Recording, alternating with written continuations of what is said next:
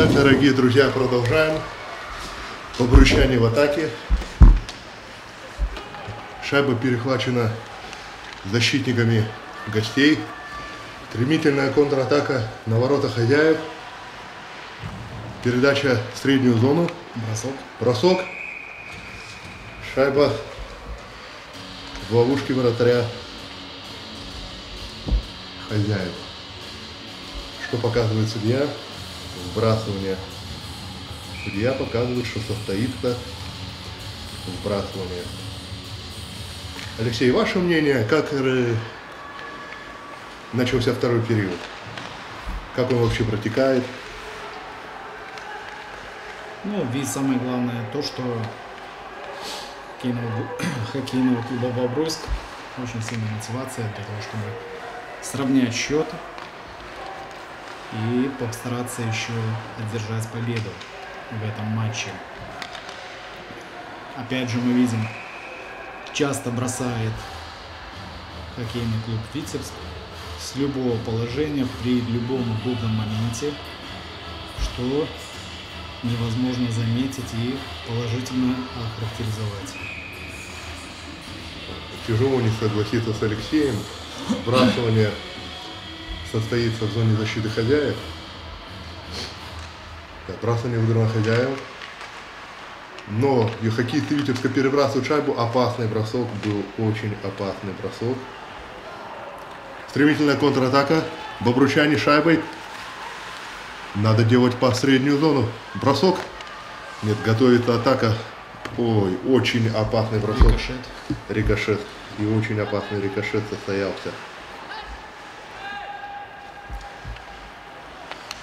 Так, шайбу контролируют хозяева.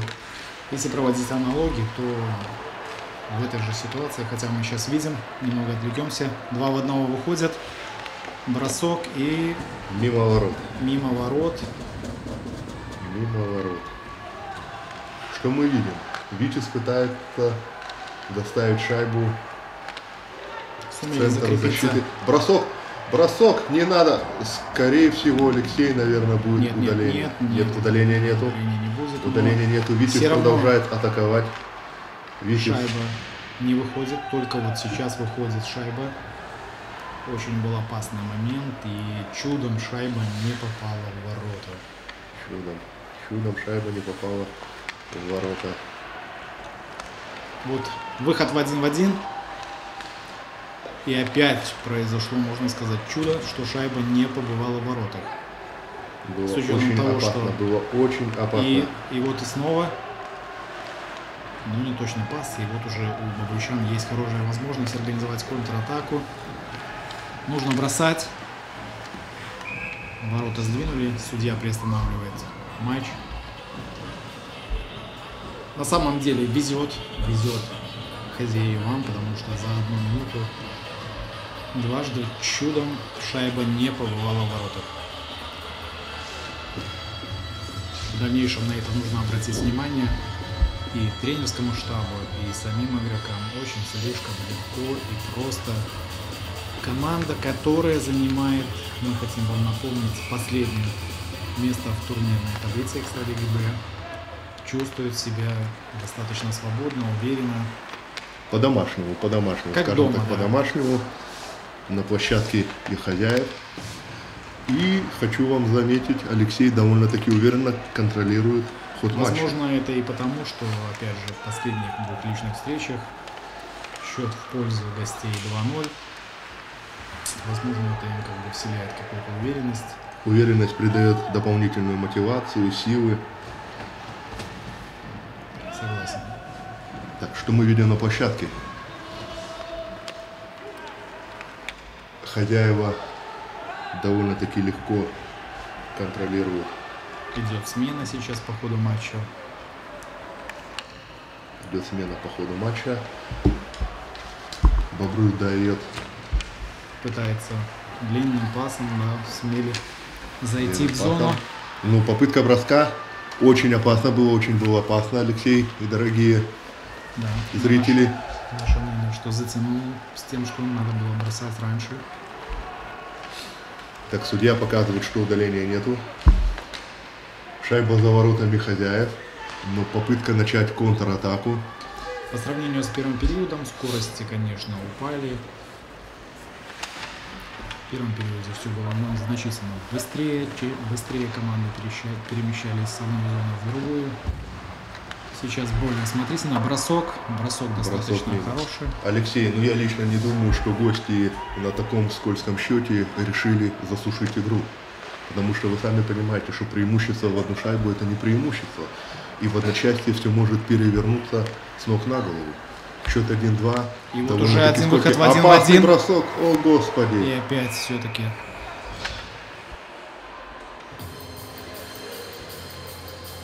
Хорошая возможность у Бобруйска сравнять счет. Но шайба пошла немножко чуть выше ворот. Да, и вот здесь мы замечаем, что за короткий отрезок времени уже именно у хоккейного клуба Бобруйска была возможность дважды поразить ворота, именно выход в один в один. Но счет на табло не изменился, 1-2. И Вбрасывание выиграно хозяевами. Защитники Бобруйска пытаются начать контратаку, перепасовка в своей зоне защиты. Хороший пас в зону атаки. Положение вне игры. Судья показывает положение вне игры. Шайба будет в среднюю зону вынесена, будет произведено вбрасывание.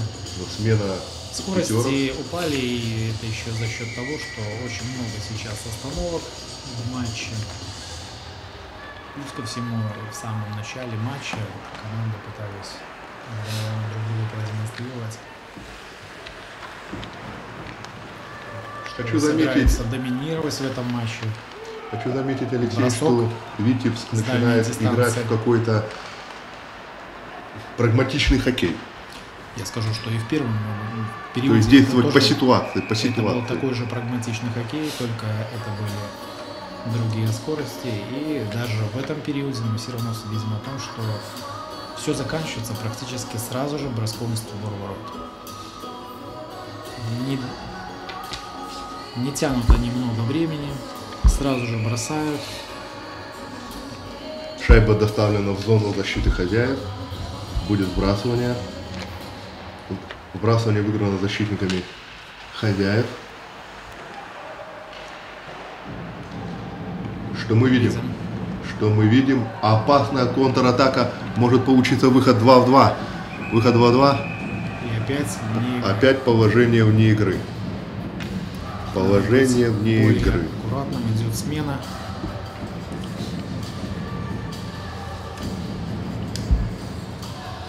Алексей, опять же тот же самый вопрос. За счет чего, как, на ну, по вашему мнению, наши парни будут исправлять данную ситуацию? Ну, видно то, что как бы вроде бы перенимают тактику ребята как бы из хоккейного клуба Бобруйск. Дают возможность, э, атак- Опасный перехват, опасный перехват. О, дают господи. возможность атаковать Как шайба не зашла в ворота клубу Витязь, потом быстро на контратаке именно пытаются войти в зону и зачастую, вот как мы видели еще не так совсем давно, то было достаточно два таких очень момента опасных, где обязаны были хоккеисты хоккейного клуба «Бобрусь» забивать и сравнивать счет. Были просто обязаны. Два таких было момента, просто бери ложи. Ну, мы опять же говорим это с, с позиции комментаторов, комментаторского кресла, как бы оно, например, сложилось, если... Опасный бросок 2-2, ничья! 2-2, дорогие болельщики. Хоккейный клуб «Бобруйск» сравнял счет после затяжной контр-атаки. Шайбу на пятачке добро... Нас переполняют эмоции. Шайба была добита на пятачке. 2-2, дорогие друзья. Ровно десятая минута второго периода. Экватор матча. Экватор матча, Алексей. Все, как говорится, начинается с нуля. Да. Главное сейчас не расслабляться, На волне успеха и попытаться... но в то же время, да, не закрываться, надо играть и забивать, и забивать, и только уже сирена по окончанию матча, желательно с результатом в пользу хоккейного клуба «Бобруйс», тогда уже можно будет отдышаться, расслабиться, обдумать Вот видите, все за и Алексей, против. за что мы и наши и слушатели, и зрители любим хоккей. За то, что одна команда полпериода, ровно 10 минут может контролировать ход матча. Буквально одна контратака, так называемый кинжальный выпад, и все, все начинается с нуля. Счет равный. Команда, которая контролировала 10 минут ход матча, в итоге пропускает. В итоге команды становятся в равное, в равное положение, и все начинается с нуля. И на данный момент в этом матче я уже не вижу ни аутсайдера, ни фаворита. Итак, дорогие друзья, счет 2-2. До окончания второго периода 9 минут 20 секунд. Контратака Бобруйска, добивание. М, Очень Видимо, было да, что опасно. опять Шайба могла шайба в ловушке побывать. Алексея Трофимова, голкипера хоккейного клуба «Витебск». Также можно сделать акцент, что именно вратарь хоккейного клуба «Витебск» много раз уже занимая правильное при- положение и много раз практически спасает Так, бросание выиграно нападающий хоккейного клуба бросок. «Бобруйск». Вратарь Бросок. практически ничего не видел. потому что он был закрыт своим защитником. Опасная контратака Витебска. Надо держать, надо держать. Никита Волес. Молодцы. Как красиво Роман Стрельников сыграл клюшкой в своей зоне защиты. И уже хоккеисты. И хоккейного уже хоккеисты «Бобруйск» Бобруйска и переходят в контратаку. Борьба за воротами противника. Нужно сделать пас. Нужно делать грамотный, точный пас. Вот сейчас нужно делать пас с центра площадки. Бросать. Сейчас Шайба перехвачена защитниками Витебска. Контратака, да. Контратака 2 на 2. Бросок Хороший бросок. линии. Не надо давать добивать. Дорогие болельщики, чудом, чудом, если бы шайба пошла бы на полметра ниже, бы, она бы оказалась бы в сетке ворот хоккейного клуба Бобруйск. Контратака Бобручан. Бросок с пятачка. С острого угла. Сос руга. Ну, Алексей, на мой взгляд, защитник Витебска немножко приподдержал клюшку, но не оставим. Так, что мы видим?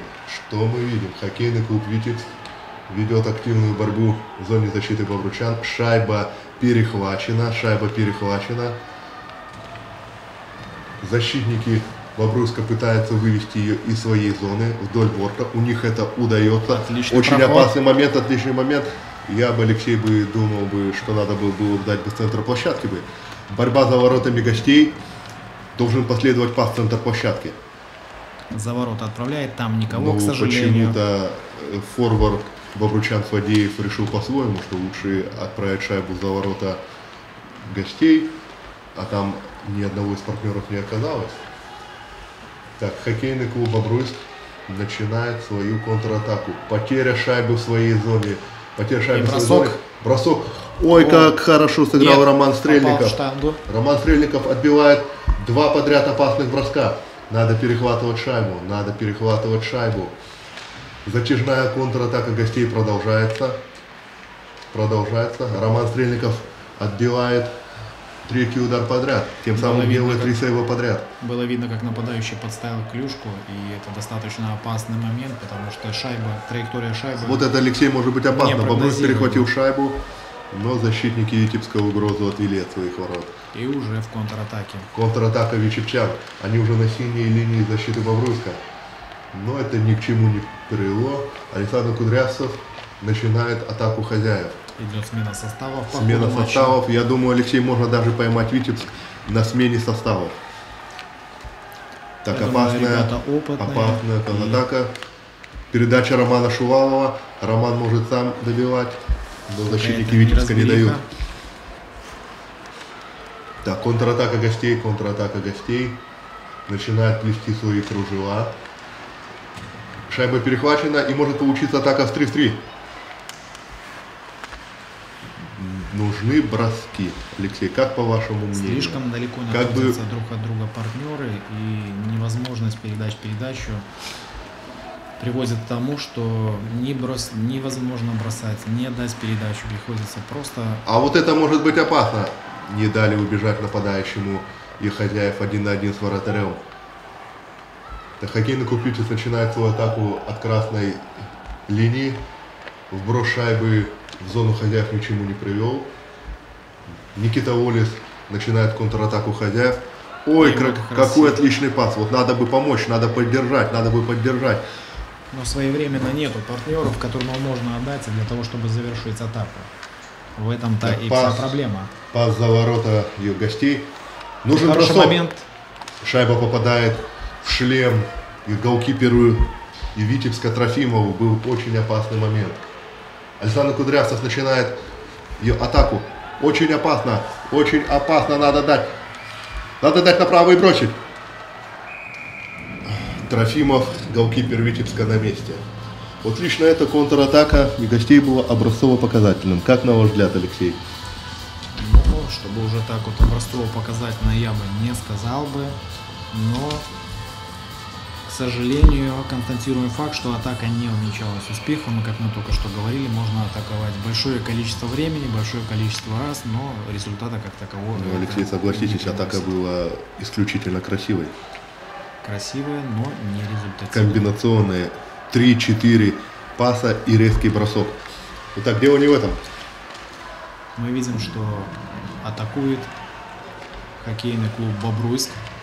Хоккейный клуб Бобруйск атакует. Борьба у синей линии. Вышли Главное не ошибаться, главное не шайбу. ошибаться. Вернее, Передача. Передача шайбы. Вброс в зону защиты гостей. Защитники Витебска подбрасывают шайбу и начинают свою контратаку.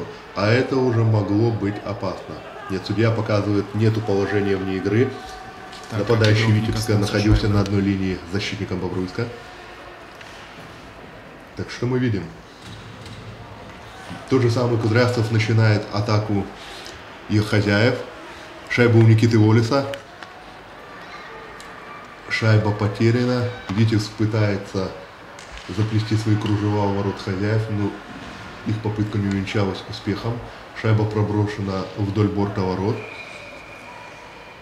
Судья останавливает встречу. Так, а что у нас случилось? Что мы видим, Алексей? Идет смена составов. И вбрасывание будет в зоне защиты хозяев. Несмотря на то, что хоккейный клуб «Бобруйск» очень часто сейчас атакует в последние 5-7 минут, видно о том, что хоккейный клуб «Витязь» держится достаточно уверенно и при первой же возможности переходит в контратаку, также бросает. Но можно отметить, что уже во втором периоде хоккейный клуб «Бобруйск» перебрасывает значительно хоккейный клуб «Витебск» 1-0 в пользу хоккейного клуба «Бобруйск» В во этом втором периоде. периоде. 3 минуты 20 секунд остается до завершения второго периода. И Можно. уже опасных броска в сторону, в створ. Вот опасная контратака хозяев. Пас центра площадки не дает. Придерживает клюшку и защитник Витебска. Контратака Витебска ни к чему не приводит. И опять же надо было бросать Бобручанину самому, а он именно сделал передачу. И за это время защитники хоккейного клуба «Витязь» успели вернуться и помешать. Так, шайба за воротами гостей. Шайба за воротами гостей. Опасно это может быть опасно, если грамотно построить атаку. Надо переводить шайбу, но шайба Алексей в ловушке. Трифонов фиксирует шайбу. Будет сбрасывание.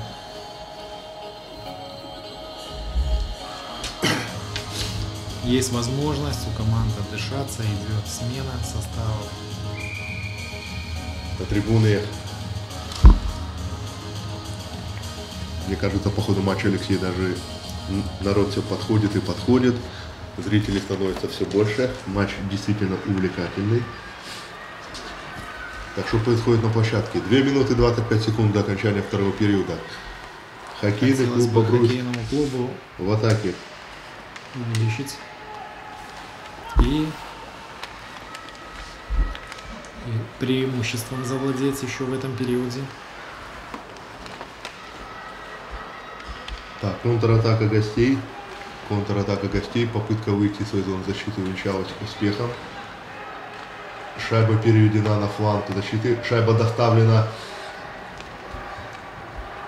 Перехват. Очень вязкая борьба в центре площадки.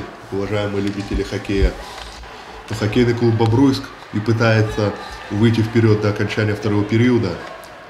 На это у нас есть еще целых полторы минуты. Главное, дорогие друзья, не забывать про свою зону атаки. Так, что мы видим? Мы видим, бобручане перехватили шайбу. Пас возле борта защиты Витебчан. Шайба перехвачена защитниками Витебска. Контратака Витебска не получилась.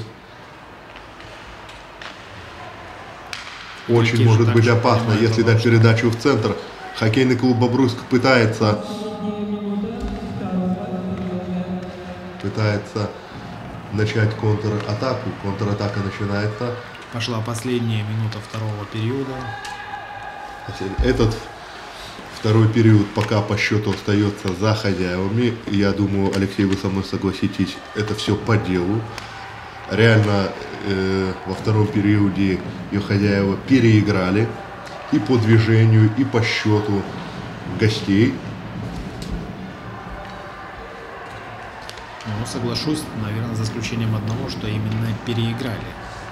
Количество, то, что забита шайба, количество бросков в пользу хоккейного клуба Бобруйск, это да. Но вот еще мы видим, что за 14 секунд до конца второго периода Витязь попытался забросить шайбу в раздевалку, но не получилось. 11 секунд до конца второго периода, уважаемые друзья. На мой взгляд, что ничего экстраординарного во втором периоде уже не произойдет.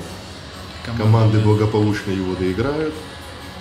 И самое все интересное и развязка матча. Не будем говорить, что основное время закончится ее в пользу одной или другой команды. Надо полагать то, что кто Не исключаем овертайм и булиты. Надо будет полагать, что кто первый забьет шайбу в третьем периоде, тот и будет претендовать на победу. На победу в основное время. На победу в основное время. Ну что немаловажно, дорогие друзья. Так, вбрасывание в зоне защиты хозяев. 3 секунды до окончания второго периода. Итак, вбрасывание.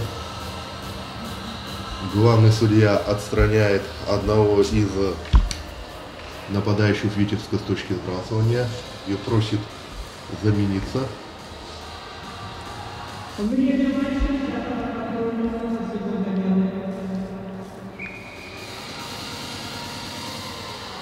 вбрасывание. И вбрасывание остается за бобручанами. Никита Волес пытается выбросить шайбу. Все, уважаемые друзья. Второй Итак, Алексей, закончил. да, подведем итоги второго периода. Второй период остался за хоккейным клубом Бобруйск. Счет 1-0. Счет на табло 2-2. Я уверен, нас ждет увлекательный третий период. Увидимся после перерыва.